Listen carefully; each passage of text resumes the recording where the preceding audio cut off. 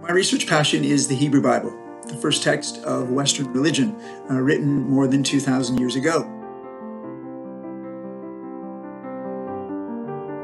And I'm especially interested in its stories, uh, famous stories like the story of David and Goliath, for instance, but also infamous stories uh, like Adam and Eve. I'm interested in the afterlives of these stories, the way that these stories have shaped how people think, how people thought, for instance, 2,000 years ago about Jesus.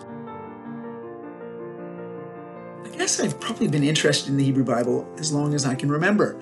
I can recall being fascinated by, by these stories as a child, sitting in church. I wanted to see not just where these stories had come from, but where they went and what happened to them as they were retold and reimagined over the centuries.